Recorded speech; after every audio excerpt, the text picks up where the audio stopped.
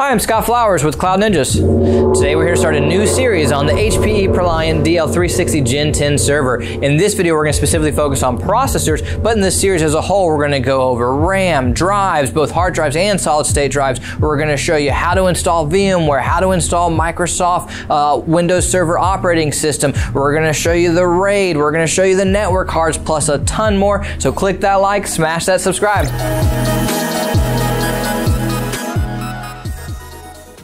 Well, hey, thanks for stopping by today to learn a little bit more about the HPE ProLiant DL360 Gen 10 server. Let's hop in. This video will be specifically focused on processors. So uh, what we're going to do as a whole is we are going to uh, cover the uh, different types of compatibilities for the processors, the socket type. Uh, we're going to show you how to physically install one of the processors. We're going to uh, tell you processors that we recommend, and we kind of break it down into three categories. So we'll just uh, go ahead and hop in with some of the, the general specs. So there are two CPU sockets inside inside your uh, DL360 Gen 10, it's going to be an LGA 3647 socket. So what that means is it takes Intel scalable first gen and second gen processors. So what does that mean or what does that actually, you know, what, what procs can I put inside? So for the Intel first gen scalable, that means you're going to get Intel Silver 4100 series, Intel Gold 5100 series, Intel Gold 6100 series, and Intel Platinum 8100 series. So those are all the first gen scalables. Now on the second gen scalable side, it's going to be just the next level up. So you have 4200 silver, 5200 gold, 6200 gold, and 8200 platinum. Um, so you can kind of see how the first gen moves up to the second gen. Um, and as a whole, uh, second gen scalable procs have come down quite a bit uh, in the last few months specifically. Uh, they were really still kind of selling at its uh, prime price for the, you know, the last few years. But now that the uh, fourth gen scalable procs have officially come out with the Gen 11 server line, and AMD has some wonderful EPYC procs for that matter. Uh, some of the second gen scalable has come down to a more reasonable price point to make these a great, great server uh, as far as uh, on the market right now on the U server side. Uh, this is one of our uh, best sellers and one of, the, one of the ones that people love the most as far as a bang for your buck because when you do get like say a Gen 11 new server, which by the way we do sell Gen 10 Plus and Gen 11 new servers, so contact us if you need one of those. But those are going to be much, much more expensive compared to a used Gen 10. Uh, it's just a great deal right now. Uh, the Gen 10s and Gen 9s are really the sweet spot uh, on the market as a whole. So uh, now, as far as the processors that we recommend, because people ask us all the time, like, hey, you know, what procs do you think we should throw in here? We've broken it down into three different groups. We have low-end procs, we have value procs, and we have high-end procs. So this is really kind of based off what your application is, right? So on the low-end side, there's three silvers that we like on the first gen scalable side. That's going to be your 4110, your 4114, and your 4116. That's going to be a 2.1 gigahertz, 2.2 gigahertz, and a 2.1 gigahertz, 8 core, 10 core, 12 core. Great processors as a whole that are honestly really, really budget friendly. Uh, you could pop two of them in for not too much money at all, uh, but they're going to be your lower end proc. Now, there's three value procs that we recommend, and they're all first gen scalable processors, and that's going to be Intel Gold 6126, 6132, and 6142. All these are still budget friendly processors. Uh, they're going to cost more than your low end ones, but they're not going to break the bank. They're going to be faster speeds overall and higher cores. So all three of these are 2.6 gigahertz, and they're going to be 12 core, 14 core, 16 core. So this is a nice little sweet spot right now where if you don't need, uh, you know, a 20 core processor or something like that, you can put in uh, some of these and get uh, still great speed, not the fastest speed, but still a great sweet spot speed. And it's going to be very, very budget friendly. So this is a spot where a lot of people, especially home lab guys, like to build with uh, because this is again, uh, just has a little bit of everything in it, right? So now on the high end side, uh, we'll tell you our three recommendations.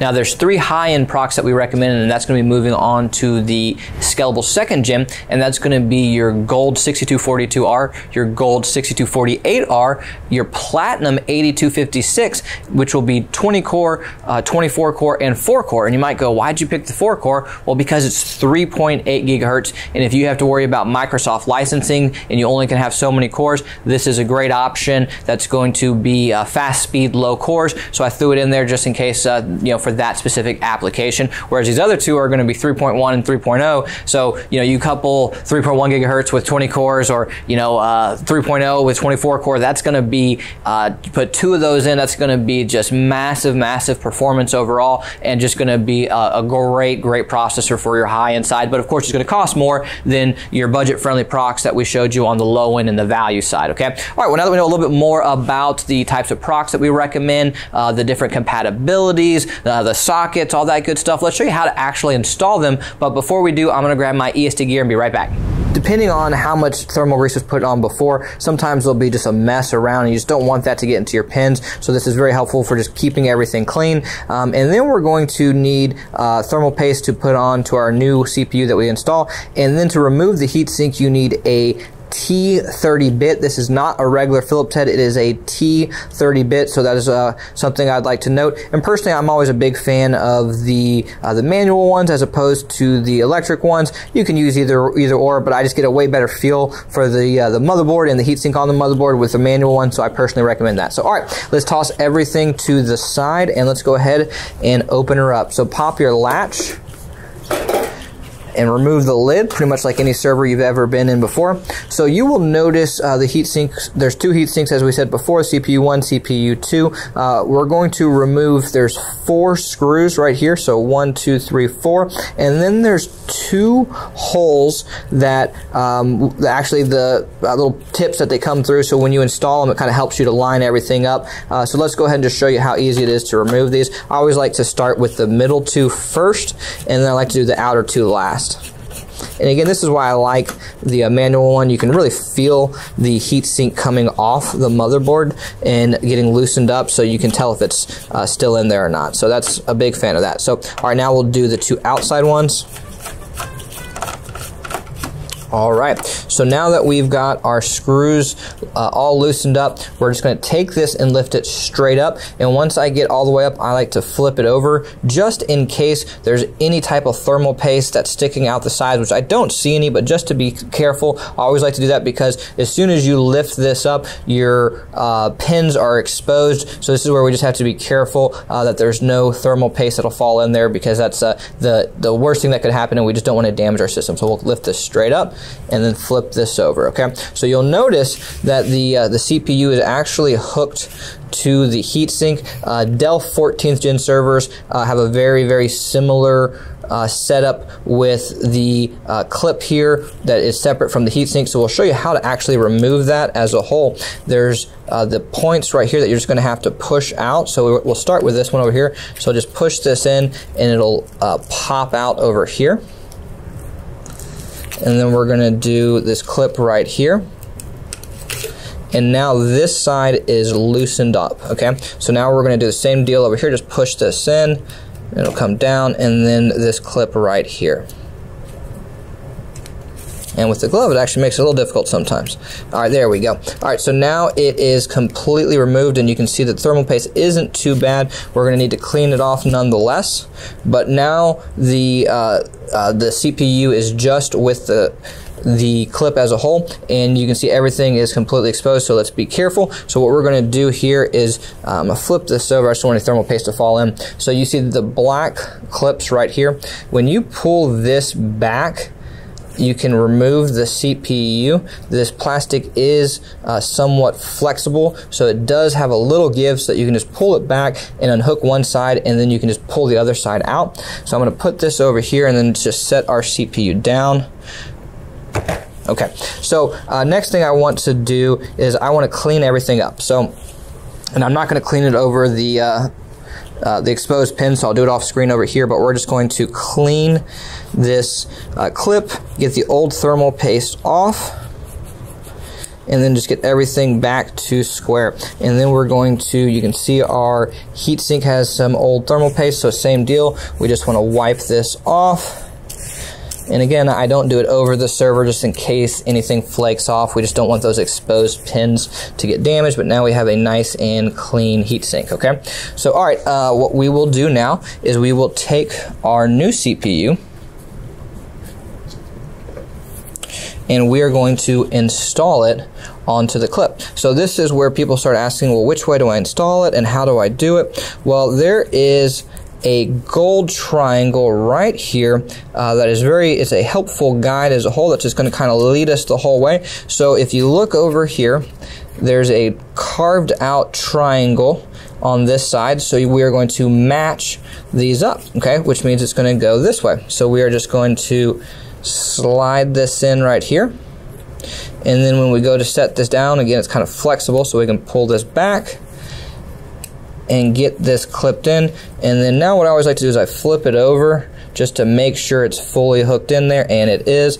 Um, and so now we got this hooked onto the clip. All right, so now we want to take our clip with the CPU and install it back on to the heatsink. So there's two main holes that you're going to line up. So we're just going to push those in right there and over here as well.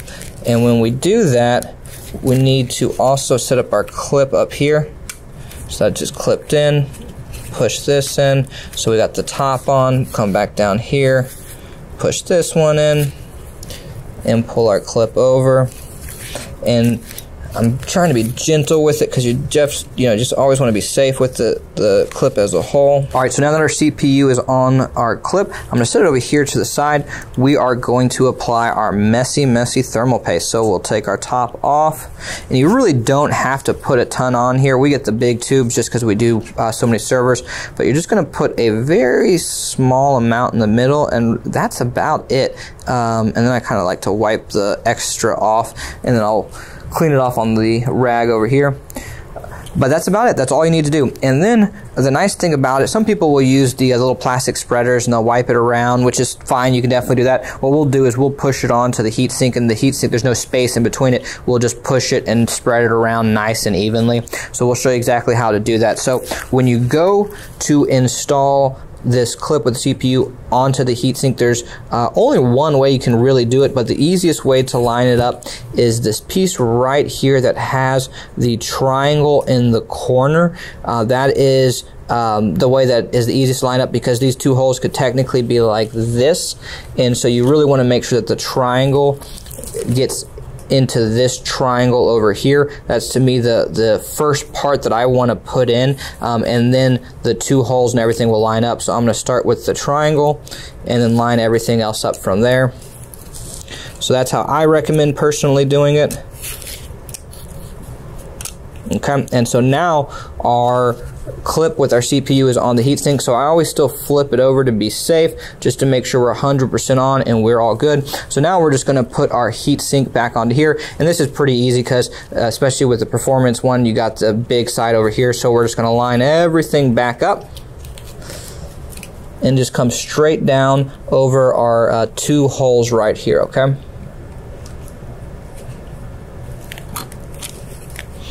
All right, so now that we've got it into position, we're going to screw it down. So I'm going to start with the outside ones, and then I'm going to do the inside ones. And so you can see as a whole, this really isn't that uh, hard of an upgrade. You do have to just make sure to do a couple of things just to be safe. Uh, you do need to make sure you have a T30 bit as well. Um, but for the most part, again, if you're uh, at home and you're you know wondering if you can do this in your home lab, yeah, you can definitely do this. Um, and if you're a data center, you can definitely do this. Um, and if you need any um, CPUs or if you want a custom built HPE, Dell, uh, Cisco, IBM, Supermicro, uh, we'd love the opportunity to earn your data center, your home lab's business. Please email us at sales at cloudninjas.com. That's sales at. We custom build new and used. And as I mentioned, uh, right now, Gen 9, Gen 10 uh, is a great sweet spot. Uh, we stock a ton of them. Take care, guys.